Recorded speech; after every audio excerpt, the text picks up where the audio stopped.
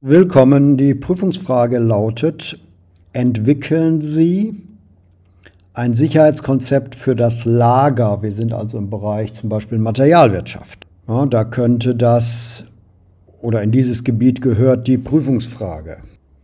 Willkommen. Die Prüfungsfrage lautet, entwickeln Sie ein Sicherheitskonzept für das Lager, in dem Sie mindestens drei relevante Sicherheitskonzepte Fragen ansprechen. Wir sind also im Bereich Materialwirtschaft oder im Bereich von Gesetzen zur Arbeitssicherheit. Das könnte auch ein Unterpunkt von einem Rechtsthema sein, diese Prüfungsfrage. Aber im Wesentlichen gehört es zur Materialwirtschaft. So, diese Frage ist hoch bepunktet. 30 Punkte. das heißt, wir, und wir müssen entwickeln, das heißt, wir müssen erläutern. Einfach nennen reicht hier nicht. Wir müssen hier eine Menge Inhalt bieten. So, wie geht man an diese Frage ran? So wie ich es immer sage, indem man seine Vorstellungskraft einschaltet. Glauben Sie bitte nicht, dass ich in der Lage wäre, bei einer solchen Handlungsaufforderung sofort eine Lösung auszuspucken sondern ich muss genauso wie Sie mich in die Aufgabe hineindenken, manchmal hineinkämpfen. Und wie machen wir das? Nun, hier bietet sich an, die Vorstellungskraft zu aktivieren. Wir stellen uns ein Lager vor. Ich hoffe, Sie haben mal ein Lager gesehen. Wenn nicht, ist es höchste Zeit. Ja, wenn Sie hier vor einer Prüfung stehen, ist es höchste Zeit, dass Sie mal in Ihrem Unternehmen fragen, ob Sie mal aufs Lager gehen können, wenn es sowas gibt. Oder anderswo mal gucken, dass Sie mal ein Lager gesehen haben. Wenn nicht, dann gehen Sie bitte ins Netz und gehen auf Bildersuche und da finden Sie alle möglichen Bilder.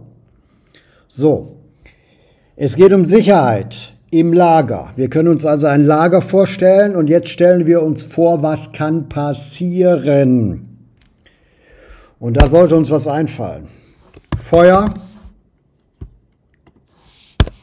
Wasser, also Wasser dringt ein, Wasserschäden entstehen, Diebstahl und wir müssen auch bedenken in diesem Zusammenhang, die Arbeiter auf dem Lager. Ja, Arbeiter werden geschädigt. In den ersten drei Punkten denken wir nur in der Kategorie, das Lager wird geschädigt, aber im Lager, das ist ja lebendig, da wird ja Zeug reingefahren, Zeug rausgefahren und so weiter. Also wir können unsere Vorstellungskraft ausweiten und stellen uns Menschen vor, das geht manchmal zu wie im Ameisenhaufen, ja, manchmal in so Lägern, wenn Sie da mal ein bisschen in der Praxis gucken, was da so los ist. Und dann können wir uns auch vorstellen, unsere Aufgabe ist ja, ein Sicherheitskonzept zu entwickeln mit mindestens drei relevanten Punkten. Je mehr natürlich, desto besser wir zunächst mal haben. Wir können uns dann ja innerhalb der Prüfung, innerhalb des Zeitbudgets entscheiden. Aber wenn uns mehr einfällt, ist es natürlich besser. Die Arbeiter werden geschädigt, also nicht das Lager oder die gelagerten Güter, sondern die Arbeiter werden geschädigt. So, damit haben wir vier Bereiche. Fangen wir mal an. Feuer, also der Bereich heißt dann Brandschutz. Was kann man tun, um das Lager vor Brand, vor Feuer zu schützen? Feuerlöscher, und diese regelmäßig warten, überprüfen. Und im Rahmen von Feuerlöschern natürlich Schulungen. Denn wenn nur der Feuerlöscher da steht oder hängt und kein Mensch weiß, wie damit umgehen, dann nützt der Feuerlöscher nichts. Ja, also generell können wir sagen, Schulungen zur Brandbekämpfung. Ist das schwer, was ich hier hinschreibe? Im Grunde nicht. Man muss nur drauf kommen, wie kommt man dahin über Vorstellungskraft. Ja, es ist fast immer so, dass Leute da sitzen und sagen, was soll ich denn jetzt schreiben? Und dann schauen sich nachher eine Lösungskizze an und dann sagen sie, das hätte ich auch schreiben können. Ja, wenn man nur drauf gekommen wäre. Die Frage ist also, wie kommt man darauf? Wie generiert man Lösungen? Das ist im Grunde Thema von fast allen meinen Videos. Dass sie nicht reproduzieren, sondern dass sie lernen, wie sie Lösungen generieren. Und in dem Fall ist es mal wieder Vorstellungskraft einschalten und schon hat man hier einen guten Punkt. Schulungen zur Brandgefähr. Schulung ist ein Aspekt, der immer gut passt. Ja, vielleicht ist Schulung ein zu großes Wort. Vielleicht kann man auch schreiben Einweisungen. Ja. So, dann gibt es noch ein paar physische Maßnahmen, wie zum Beispiel Brandschutztüren. Das haben Sie auch bestimmt schon mal gesehen. Das sind besonders schwere Türen. Das fällt auf, wenn man die Türen bewegt, sind, die sind besonders schwer. Das ist eine Brandschutztür oft. Ja, es lohnt sich auch so ein bisschen die Augen mal aufzumachen. Ne, dann hat man hier Lösungen, in, einfach indem man guckt, beobachtet, Brandschutztüren. Dann gibt es sehr oft in der Praxis feuerfestes Material das man verwendet. Dann im Zusammenhang ist auch etwas, was fast immer passt, eine Versicherung, die uns natürlich nicht äh, versichert gegen die Schäden, die auch nicht unser Lager sicherer macht, aber die kompensiert. Ja, die kompensiert, wenn der Schaden eintritt.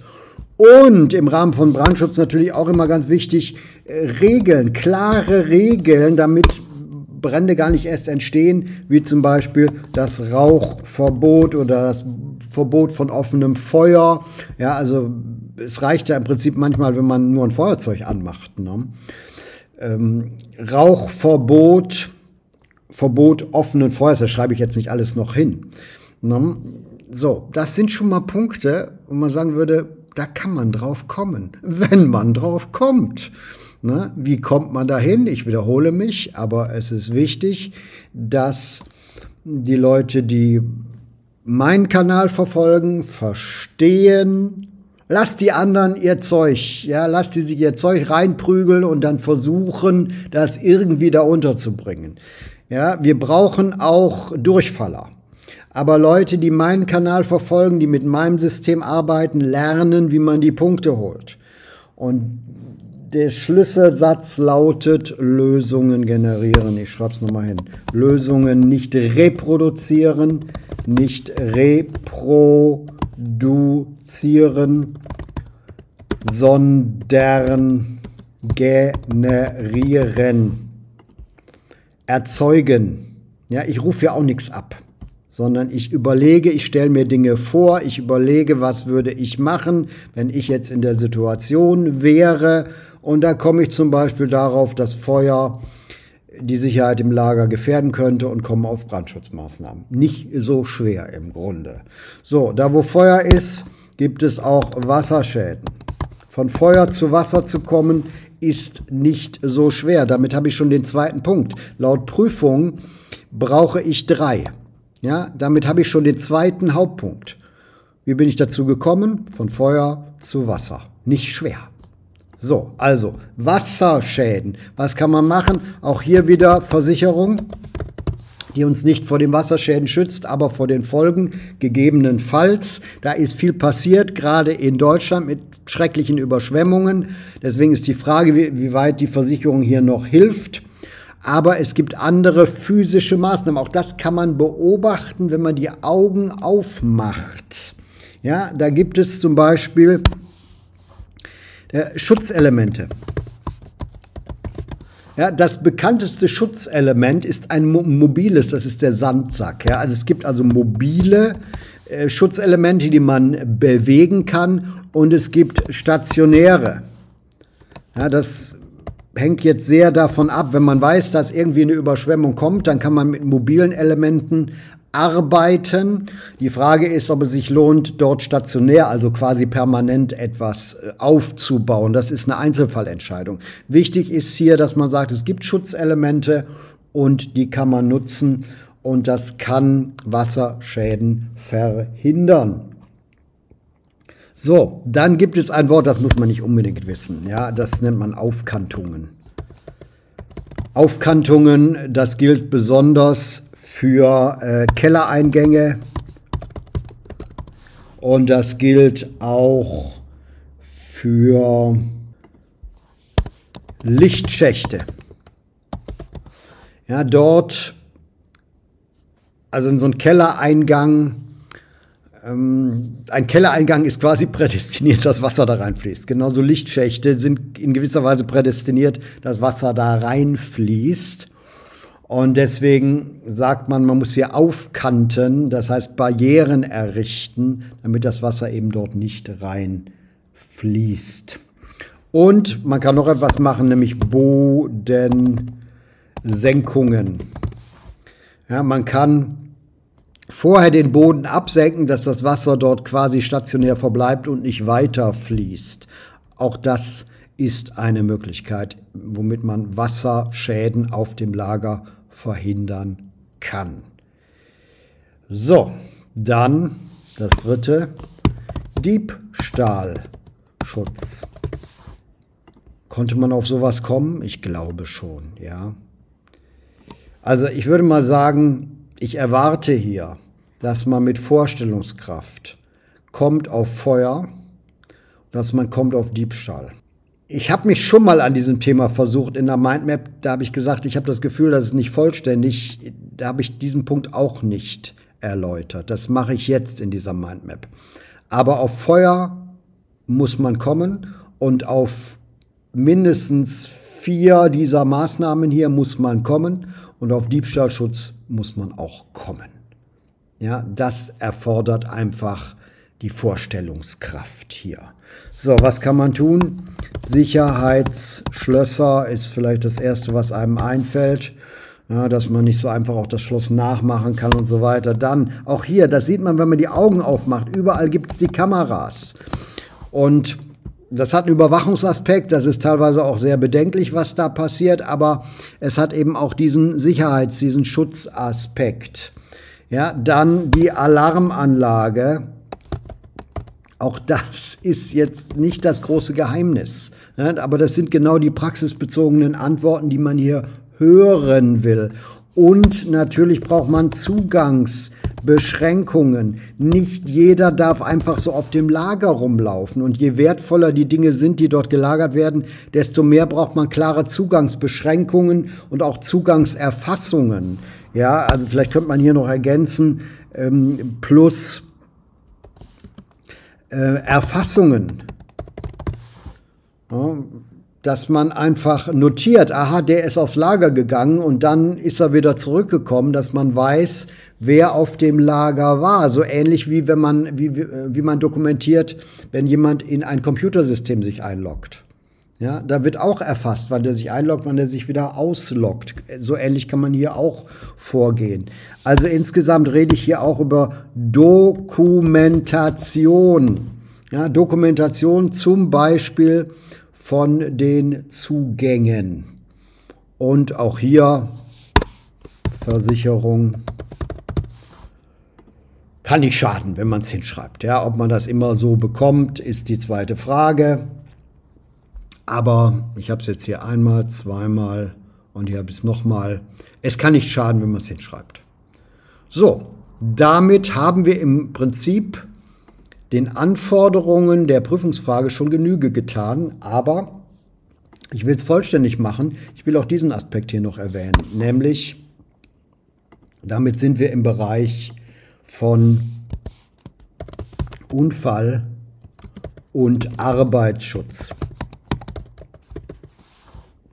Wenn wir sagen, ein Sicherheitskonzept umfasst nicht nur die Ware, sondern auch die Leute, die auf dem Lager arbeiten, und das kann man ganz klar argumentieren, dann sind wir genau hier beim Unfall und beim Arbeitsschutz. Und hier passt wieder, wie so oft, das Wort Schulungen.